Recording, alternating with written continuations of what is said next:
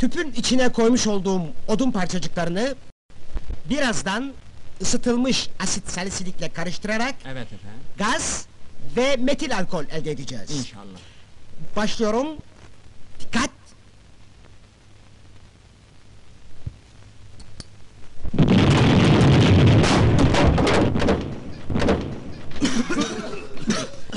Hayret! Beklenen oldu. Yoksa korkulan oldu mu demek lazım. Merkez Bankası bugün politika faizini 100 bas puan indirdi ve dolar önce 11 lirayı sonra 11.29 TL'yi gördü. Bu videoyu çektiğim dakikalarda 11.04'te ama daha geçen cuma akşamı daha yeni 10 liraya geçmişti dolar. 5 günde 11 liranın üzerine geldi. Gerçekten bu ölçüde, bu büyüklükte, Türkiye büyüklüğünde bir ülkede bu kadar sert değer kaybı dünya tarihinde herhalde azdır. Evet beklentiler dahilinde dün de ben bu kanaldaki videoda söylemiştim kişisel tahminimin 100 bas puanlık indirim olduğunu. Anketlerde de 100 bas puan öne çıkıyordu. Bu kanalda yaptığım ankette de %70'den fazla izleyici 100 bas puanlık indirim öngörmüştü. Ama şunu öngöremedik. Bugün açıklama metninde Merkez Bankası'nın şu ifade var. Kurul bu etkilerin ima ettiği sınırlı alanın kullanımını Aralık ayında tamamlamayı değerlendirecektir dedi Merkez Bankası. Ne demek bu? Yani faiz indirimlerini sürdüreceğim diyor Merkez Bankası. Bugün 100 bas puan, gelecek ay herhalde bir 100 bas puan daha. Yoksa 200 bas puan mı? Bunu anketini de yaparız bu kanalda. Ama indirimler sürecek, faiz indirimleri. E ama enflasyon yükseliyor. Daha da yükselecek. Çünkü dolar arttıkça enflasyon ona bağlı olarak arttığını biliyoruz. Geçişkenlik etkisi deniyor buna. E şimdi dolar artıyor, enflasyon patlayacak. E faiz iniyor. Türk lirasının ne kadarlık bir negatif faizi olacak? 600 bas puan mı? 700 bas puan mı?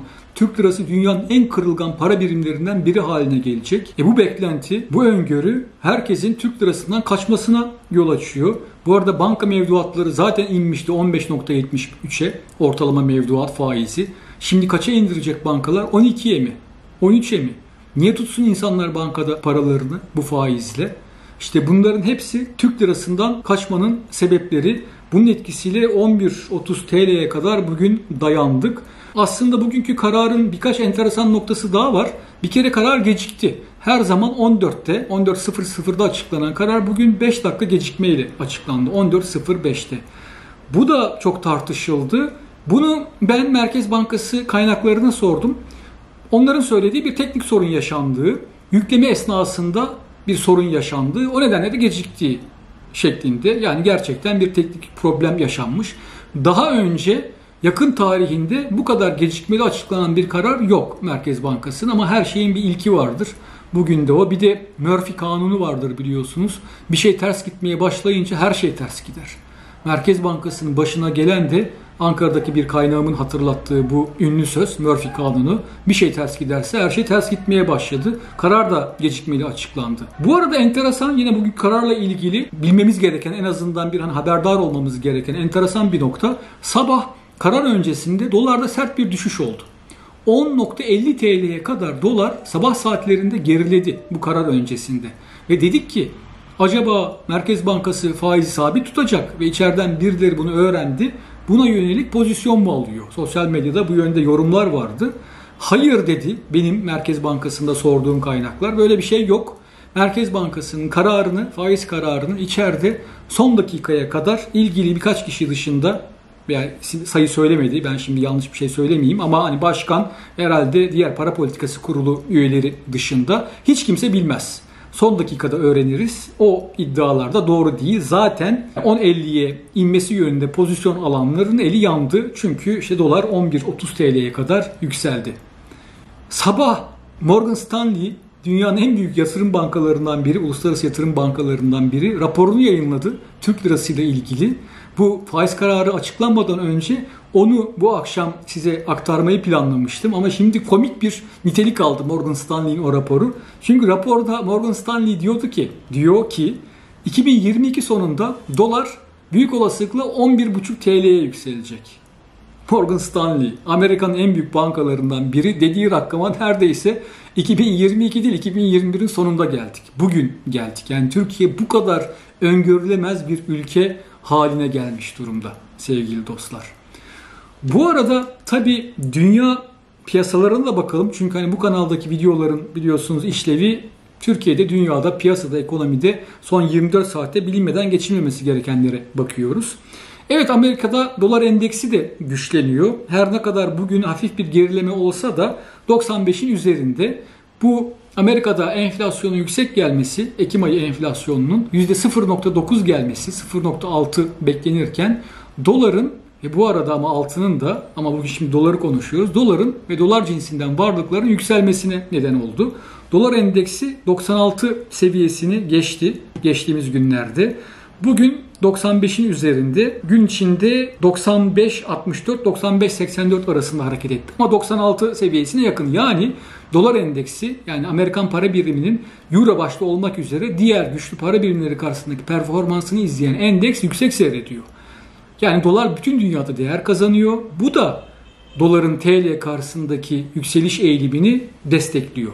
Bu gelişme yani Amerika'da enflasyonun yüksek gelmesi bunun enflasyon endişelerini yani enflasyonun kalıcı olduğu endişelerini algısını güçlendirmesi ve bu arada Amerikan Merkez Bankası'nın parasal sıkılaşmaya ve faiz arttırımlarına beklenenden erken başlayacak algısını oluşturması, doğurması altın da destekliyor. Daha doğrusu bu enflasyonist beklentiler, yani enflasyonun kalıcı olduğu, olacağı beklentisi destekliyor altını. Altın bugün uluslararası piyasalarda altının onsu 1870 dolara kadar çıktı. Ama daha sonra tekrar gevşedi. Bu videoyu çektiğim dakikalarda 1860 doların altında. Ama bu Amerika'daki biraz önce anlattığım enflasyon verisinin açıklanmasından bu yana o günden bugüne ons altın 50 dolar yaklaşık değer kazandı küresel piyasalarda. Ve işte bunun etkisiyle ons altının yükselişi ve tabii ki ondan da önce doların ve euronun yükselişinin etkisiyle gram altında içeride yurt içinde rekorlar kırıyor. Türk lirasında bunlar yaşanırken borsa rekor kırıyor. Borsa bugün %1.75 yükseldi. 1736 seviyesini gördü. Bunun arkasında borsa şirketlerinin gayet sağlam olmasının, çok iyi bilançolar açıklamalarının, ihracatçı şirketlerin TL'deki bu değer kaybından aslında avantaj elde ediyor olmasının, önümüzdeki dönemde de parlak bilançolar açıklayacaklarına yönelik beklentinin etkisi büyük. En fazla döviz pozisyonu bulunan yani bu dolardaki artıştan en fazla yararlanmaya aday şirketlere bakalım istedim ve Finnet'ten yabancı para pozisyonlarının sıralamasını çıkardım. Yani en fazla dolar pozisyon, döviz pozisyonu, yabancı para pozisyonu bulunan şirketler hangileri bunlar? Çünkü bu bilançolarını olumlu etkileyecek önümüzdeki dönemde. Bir numarada Saholu görüyoruz. Sabancı Holding 1.2 milyar dolarlık döviz pozisyonu var pozitif. Şişe Cam ikinci sırada onun da 1 milyar 20 milyon dolarlık döviz pozisyonu var. Aselsan'ın 661 milyon dolarlık. İsdemir'in, İskenderun Demirçeliğin 640 milyon dolarlık. Enka İnşaat'ın 609 milyon dolarlık. Doğan Holding'in 358 milyon dolar. Koç Holding'in 323 milyon dolar. Enerjisan'ın bir Sabancı Holding şirketi 295 milyon dolarlık döviz pozisyonları var. Böyle devam ediyor liste. Listede Koza Altın, Türksel'i görüyorum. Türksel'in de 100 milyon doların üzerinde Tuborg'un, Deva'nın, Alarko'nun hep 100 milyon doların üzerinde olduğunu görüyorum döviz pozisyonlarının. Bunlar dolardaki yükselişten önümüzdeki dönemde bilançoları itibariyle olumlu etkilenecek şirketler, ihracatçı şirketler BIST yüzü borsayı yukarılara taşımaya devam edecek. Bankacılık hisseleri de onlara eşlik ediyor. Bugün garantide mesela %2.86, Akbank'ta %2'ye yakın, Yapı Kredi'de %6.82'lik yükselişler görüyoruz.